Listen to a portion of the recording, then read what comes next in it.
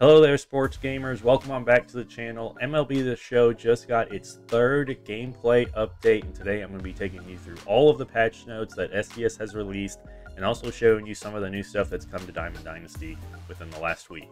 Let's get into the video. Sports Gamers Online is the number one source for the sports gamer.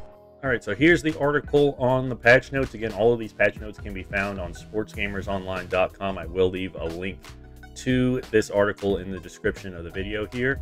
But when you look at it, a lot of general gameplay fixes, most of them bugs, like a bug that would prevent the ump from uh, making a call in certain situations at home, fix an issue where foul balls would cause the game to freeze up.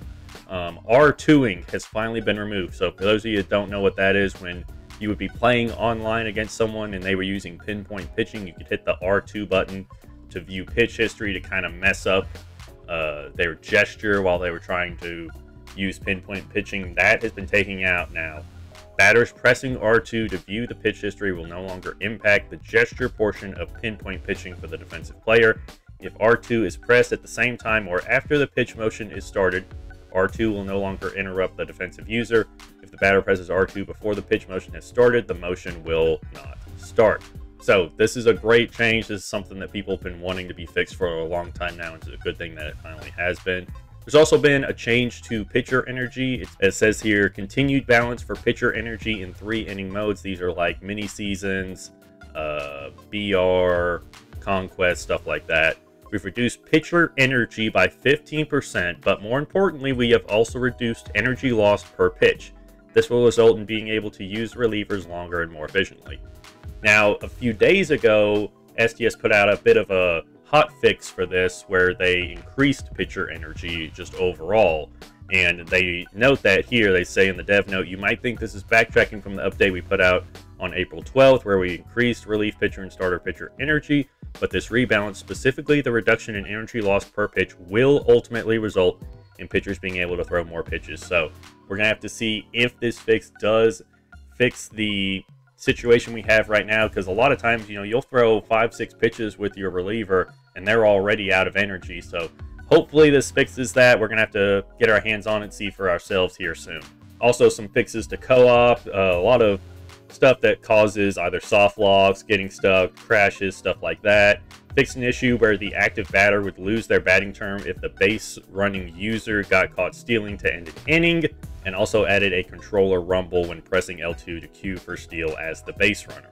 A couple fixes to Road to the Show, fix an issue causing active perks to not function during gameplay if the perk was placed in the fourth perk slot, fix an issue that would cause the ball player to not display the ball player hub and various text adjustments throughout the mode. So those are some much needed changes throughout the Show mini seasons, crash fixes, as well as the incorrect team logo showing up in a couple of places. Quite a few fixes here to franchise mode. There was an issue where certain award-winning players were listed with the wrong team. That has been fixed. Uh, MLB teams could have too many players of a certain position on their playoff roster. That's been fixed. Uh, incorrect letter grades displayed for coaches available for hire. Uh, intentional base on balls criteria for the CPU has been fixed. All-star appearances not being recorded while simming in certain situations has been fixed. There was an issue in the Rule 5 draft that would cause the user's pick to be skipped and given to the next team in the draft order, so whoever you picked would actually be given to the next team after you. That's been fixed. Uh, the Reliever of the Year award, when it was not listing all of the players, it will now do that. That's been fixed, and the arbitration calculations will no longer result in salaries below the MLB minimum. A couple fixes to Stadium Creator, fixes and adjustments to props and night lining that was certainly needed as well as sometimes uh, when you created a stadium and uploaded it it would be locked so other people couldn't use it. Now those stadiums will be accessible in the vault. Big ui change here that we're all happy to see and it fixed an issue that would cause tutorials to display multiple times. Now those tutorials should not be showing up anymore once you see them the first time. After that they shouldn't pop up anymore hopefully. And finally, some miscellaneous stuff. The Nike City Connect Houston Astros uniform has been added to the game. A lot of new player images have been added to franchise in March to October, as well as throughout Diamond Dynasty as well. You can now skip Diamond Cinematic Pack presentations by pressing the square, X, or Y button twice. Some issues with the Cincinnati and LA Angels Jumbotron have also been fixed. And also various crash fixes and presentation and commentary adjustment and bug fixes across all modes were also a part of this patch. While we're here, I do want to go over some new things that were added recently to Diamond Dynasty. So we had the Nike City Connect program added earlier this week. Well, now the Washington Nationals Nike City Connect program has been added. This is just for the Washington Nationals City Connect uniform here. You also get a bat skin as well as 85 overall third baseman Anthony Rendon. Got pretty decent stats, good contact, good fielding wise. Um, so you have some moments here to do, but sadly, uh, it, I, I was surprised when I saw that if you do all the moments, you still don't get the Anthony Rendon, which is different from how they did player programs like this last year. Usually, when you did the moments, you got the card that you needed to finish out the rest of the program. So, what you'll need to do is make sure you get some parallel XP with Nationals players. That'll give you enough, along with the moments, to get up to that Rendon card. And once you get the Rendon card, you'll be able to earn the rest of this and end up finishing out this program.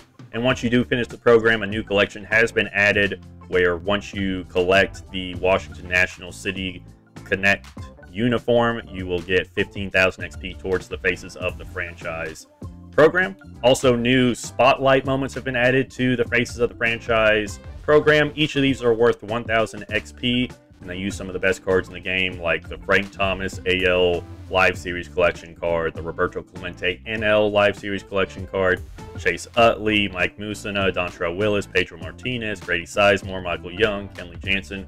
All of these are part of the Live Series Collection rewards or uh, some other way where you can get some of the best cards in the game. But now you get to use them here in these moments to earn a lot of XP towards the faces of the franchise program. And last but not least, one more Conquest map has been added. This is the Faces of the Franchise Central map here. As you can see, pretty good rewards. I've already gone through and completed this, but you'll get a prospect choice pack to the AL and NL Central, as well as a Ballin as a Habit pack once you complete the entire map. So make sure you get in here, do this Conquest map. Doesn't take too long. Um, took me maybe a couple hours to grind the whole thing out, so it shouldn't take you that long to play through this one. We also got the fourth headliner set. This is 91 closer Mariano Rivera 08 All-Star. Pretty good card. Got the cutter, four-seamer, sinker, slider, 106 hits per nine, 101 walks per nine. Good control, good velocity, good break. It's always good to have a good Mariano Rivera card in your bullpen. And then, as I said in my last Diamond Dynasty update video, Bobby Witt Jr. prospect card is now in the game. 90 overall, really good against lefties, pretty good against righties as well. Good speed, good fielding.